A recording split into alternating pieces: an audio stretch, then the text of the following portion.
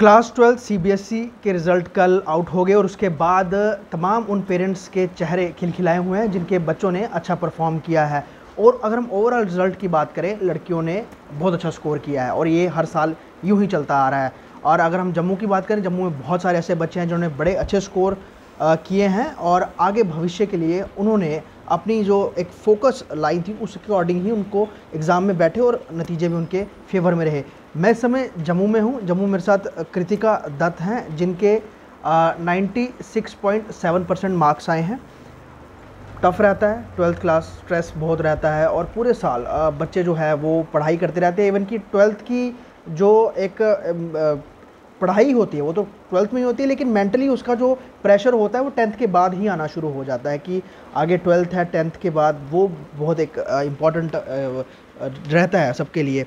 तो कृतिका, मुझे ये बताओ कि एग्ज़ाम जैसे मैंने कहा कि पूरे साल तैयारी, आपने पूरे साल तैयारी की, क्या शेड्यूल रहता था और एक्सपेक्टेशन क्या थी? ये तो मार्क्स है। आपकी अकॉर्डिंग आपकी एक्सपेक्टेशन कैसे ज़्यादा थी या ऐसे कम थी? यानी जितना हम सोच के चल रहे थे, उतनी ही थी।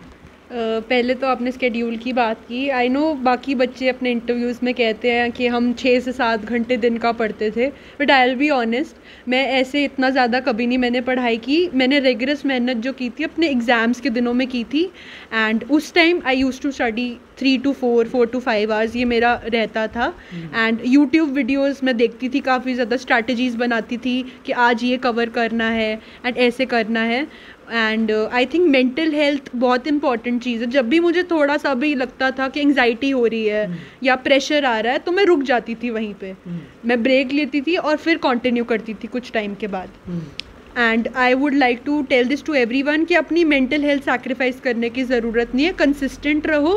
And keep swimming you will reach the shore eventually अच्छा मैंने ये पूछा कि आपका एक्सपेक्टेशन क्या था? जो स्कोर mm-hmm. किया है उतना था उससे ज़्यादा था उससे क्या था मेरा 95 प्लस तो एक्सपेक्टेड ही था एंड जब स्कोर आया मेरे दिल में कोई मलाल नहीं था कि कम है ज़्यादा है। मैं बहुत सेटिस्फाइड थी बहुत खुश थी सब्जेक्ट वाइज भी जो मार्क्स रहे थे I was more than happy अच्छा एक मेरे को बताओ कंपटीशन बड़ा है बहुत ज़्यादा है। आपके बैचमेट्स अपने फ्रेंड्स जो हैं यही चीज़ रहते होंगे किसने है?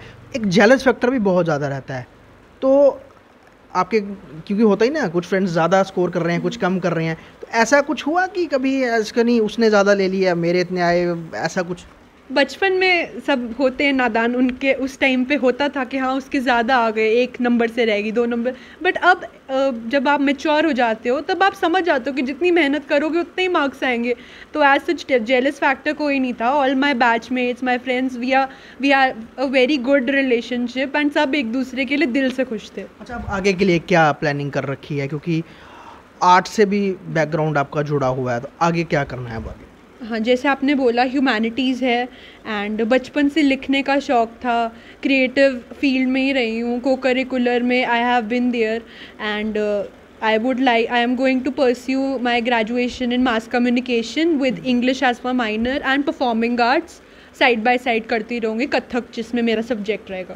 अच्छा कथक आपका सब्जेक्ट रहा है और आप सिंगिंग भी करते हैं, बड़ा मतलब मल्टी टैलेंटेड हो आप। अच्छा मुझे ये बताओ, ये कितना हेल्पफुल रहता है? जैसे कि आप अलग अलग चीज़ें करते रहते हो तो पढ़ाई के साथ साथ हम्म। तो एक फोकस बनाने में बाकी चीज़ें कितनी हेल्प करती हैं या फिर आपको डिस्ट्रैक्ट करती हैं? नहीं डिस्ट्रैक्ट तो बिल्कुल नहीं करती हैं। आई नो कभी कुछ दिन होते हैं जब आप अच्छे से पढ़ नहीं पाते या बिल्कुल ही नहीं पढ़ पाते I be very honest and ये जो चीज़ें हैं ना ये ऑल राउंड डेवलपमेंट एक पर्सनैलिटी इन्हांस करती हैं। आपको सही गलत का रास्ता क्योंकि जब आप डिफरेंट एक्टिविटीज़ में जाते हो पहले तो आपकी टीम स्पिरिट बढ़ती है देन आपकी लोगों के साथ अंडरस्टैंडिंग लेवल बढ़ता है अग्रीएबलनेस बढ़ता है आपका न्यूरोटिसिज्म बढ़ता है जो मैं पी की लैंग्वेज अगर यूज़ करूँ। एंड एज सच कुछ नहीं होता कि आप पे डिपेंड करता है आप बेसिकली कैसे अपना टाइम किस चीज़ को देते हो ज़्यादा और किस चीज़ को कम देते हो। टाइम मैनेजमेंट जिसे हम कहते हैं। अगर आप वो कर लो तो आपका रिज़ल्ट अच्छा आएगा ही। एंड आप मेंटली भी स्टेबल रहोगे और जो आपकी को करिकुलर एक्टिविटीज़ हैं ये बेसिकली आपको मेंटली सेन रखने में बहुत हेल्पफुल होती तो मैं ये हम देखते हैं पेरेंट्स से बात होती है तो कोई कहता है डॉक्टर बन रहा है कोई कहता है इंजीनियर बन रहा है साइंटिस्ट बन रहा है। मास कॉम के लिए मैं शायद मैंने बहुत कम लोग क्योंकि एक ऐसी फ़ील्ड है हर जगह ट्राई करके देन नहीं हुआ, चलो अभी हम ये कर लेते हैं। बट आपने फोकस ही इसमें किया है तो पेरेंट्स इसके लिए अलाउ कर रहे हैं आपने पहले से या उन्होंने बोला था, नहीं, आपने इंजीनियरिंग करनी है, आपने एम बी इस तरह से कि कुछ इस तरह से चल रहा था? नहीं my touchwood my parents have been supportive all through my academic time मेरे स्कूल ईयर्स में जब से स्टार्टिंग से जब से होश संभाला है they have been very supportive my father my mother both of them and कभी प्रेशराइज नहीं किया कि नहीं, आपकी टेंथ में अच्छा है तो आप साइंस ही लो या किसी के प्रेशर में आके कभी नहीं कहा कि अगर आपके टेंथ में अच्छा साइंस लो नॉन मेड लो कॉमर्स ऐसा कुछ नहीं देवर लाइक जिसमें आपको खुशी मिलती है अंदर से सेटिस्फैक्शन मिलती है आप वो सब्जेक्ट रखो। और टीचर्स का बहुत बड़ा योगदान रहता है। कैसा उनके साथ आपका रिलेशन था टीचर्स का और उनकी कितनी सपोर्ट रही? क्योंकि उनके लिए सब बच्चे एक बराबर होते हैं और स्कूल में होते ही बहुत सारे बच्चे तो आपके साथ कैसी बॉन्डिंग थी और सबसे अच्छा कौन आपके लिए रहा सपोर्टिव जो आप कह सकते हैं जो क्रेडिट देना चाहती हैं? टीचर्स आपने सही कहा if you get a good teacher then your life is set and मैं लकी रही इस मामले में मेरे ट्वेल्थ uh, के सारे टीचर्स ने मेरे को इतनी ज़्यादा हेल्प प्रोवाइड की। I would like to name some of my teachers पहले तो पॉलिटिकल साइंस के teacher mister Simranjit Singh sir मेरी क्लास टीचर एंड हिस्ट्री की teacher miss Manisha ma'am geography geography की teacher miss Preeti Kotwal English की teacher Roma ma'am and PHE की Bhavna Kaul ma'am. And इसके अलावा my principal ma'am who has been a guiding force पूरे school के लिए miss Anupama Sinha and lastly my mentor जिन्होंने exams के टाइम पे वॉज़ बिहाइंड मी जिन्होंने मेरे को पूरा सहयोग दिया miss Shikha Jain and also parents तो होते ही हैं. And my mom has always been my best friend and इन, इनका सपोर्ट तो इतना ज़्यादा मुझे रहा है पूरी ज़िंदगी. एंड माई डैड जो यहाँ नहीं है बट फन कराने की बात है तो ही वॉज़ ऑलवेज देयर तो यस मदर आपकी यहाँ से बात करें डॉक्टर प्रिया दत्ता हैं यहाँ पर। मैम मुझे बताओ आप खुद आर्ट से जुड़े हुए हैं आप पढ़ाते भी हैं और आपको सारा बच्चे तो आपने बच्चों की ग्रूमिंग इस तरह से की है कि जैसे उन्होंने बताया कि प्रेशर कभी लिया ही नहीं। तो ये कितना इनके लिए लाइक स्मूथ रहा कि प्रेशर है ही नहीं है? पेरेंट्स कह रहे हैं कोई दिक्कत नहीं है। कितने स्कोर करने हैं कोई बात नहीं है। तो ये आपकी आप में पेशेंस भी है क्योंकि पेरेंट्स की पेशेंस बहुत मायने रखती है। ये पेशेंस आपने कहाँ से लाई और ये आपकी पेशेंस इनके लिए कितनी हेल्पफुल है? आपकी छोटी डॉटर भी है उनके लिए कितनी हेल्पफुल आपको दिख रहा है कि हाँ ये मेरी पेशेंस है इनको बेनिफिट होता हुआ नज़र आ रहा है? हाँ। वेल पेशेंस का क्या है कि जब हम पेरेंट्स बनते हैं तो पेशेंस तो आ ही जाती है। हम्म। तो ये फिलोसफिकल नहीं है वो प्रैक्टिकल सा एस्पेक्ट है। हम्म।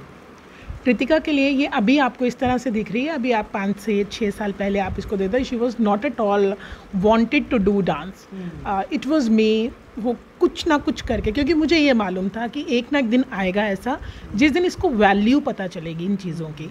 और आज की डेट में ये आपके सामने एक कंप्लीट उस तरह का प्रोडक्ट मतलब कि डांस ओरिएंटेड फीमेल बन चुकी है ये because she is taking all the subjects and doesn't want to leave dance this is all because of that grooming because मुझे मालूम था कि मुझे इसको कहाँ तक पहुँचाना है। Now the whole world is in front of word अब इसने ऑप्ट करना है कि हाँ और डेफिनेटली आप कभी बाज़ार में भी जाइए आप उन्हीं चीज़ों को ऑप्ट करते हैं दोज जिनके साथ आपकी फेमिलैरिटी है जिनको आपने बचपन से देखा हुआ है। तो वही हुआ। ऐसा नहीं कि ये मेरा कोई प्लान था but I knew this from the very beginning कि इनको इंट्रोड्यूस तो मुझे हर चीज़ को करवाना है यू नो इसने नेशनल्स भी खेले हुए हैं स्केटिंग में रोल बॉल स्केटिंग की भी बहुत अच्छी रही हुई है ये।